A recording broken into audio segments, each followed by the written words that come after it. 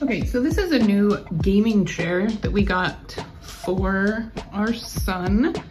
It is the S Racer and it's in the blue and black color. I myself put this together and it probably took me about 30 minutes. This moves up and down, some lumbar support. It was really pretty easy to put together. You have um, this handle here, which reclines the seat back.